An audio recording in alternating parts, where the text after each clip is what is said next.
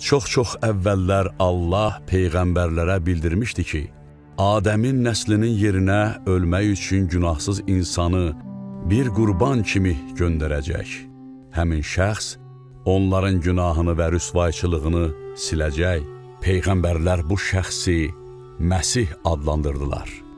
Onlar deyirdilər ki, insanları xilas etmək və Allahın adı ilə onlara əbədi rəhbərlik etmək üçün Allah Məsihi göndərəcək. Yüz illər öncə Peyğəmbərlər Məsihin görəcəyi işlər və onun başına gələnlər barədə söyləmişlər.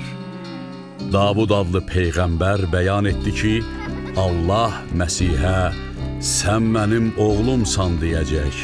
Peyğəmbərlər fiziki oğulluqdan danışmırdılar. Bu heç vaxt ola bilməzdi.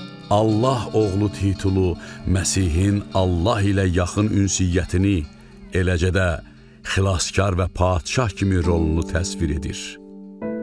Yeşaya adlı peyğəmbər dedi: Bakirə qız hamilə olub oğlan doğacaq.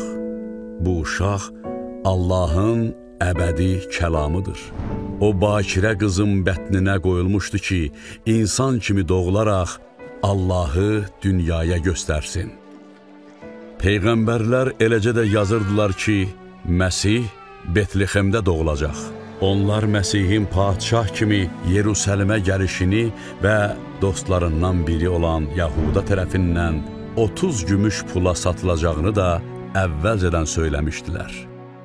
Peyğəmbərlər dedilər ki, Məsih öz həyatını qurban verəcək, amma Allah onu üçüncü gün ölülərdən dirildəcək.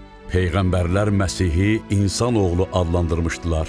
Onlar demişdilər ki, o buludların üstündə Allahın huzuruna girəcək və Allah əbədi olaraq bütün xalqlar üzərində səlahiyyəti ona verəcək. 2000 il bundan əvvəl İsa adlı bir şəxs yer üzündə yaşamışdır.